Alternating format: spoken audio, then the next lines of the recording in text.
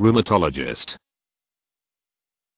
Rheumatologist, a specialist in the non-surgical treatment of rheumatic illnesses, especially arthritis. Rheumatologists have special interests in unexplained rash, fever, arthritis, anemia, weakness, weight loss, fatigue, joint or muscle pain, autoimmune disease, and anorexia.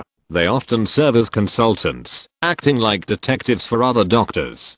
Rheumatologists have particular skills in the evaluation of the over 100 forms of arthritis, and have special interest in rheumatoid arthritis, spondylitis, psoriatic arthritis, systemic lupus erythematosus, antiphospholipid antibody syndrome, Still's disease, dermatomyositis, Sjogren's syndrome, vasculitis, scleroderma, mixed connective tissue disease, sarcoidosis, Lyme disease, osteomyelitis, osteoarthritis, back pain, gout, pseudo-gout, relapsing polychondritis, Henoch-Schönlein purpura, serum sickness, reactive arthritis, Kawasaki disease, fibromyalgia, erythromelalgia, Raynaud's disease, growing pains, iritis, osteoporosis, reflex sympathetic dystrophy, and others. Classical adult rheumatology training includes 4 years of medical school, 1 year of internship in internal medicine,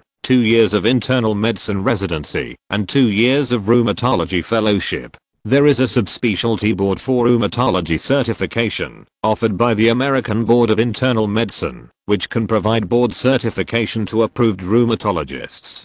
Pediatric rheumatologists are physicians who specialize in providing comprehensive care to children, as well as their families, with rheumatic diseases, especially arthritis.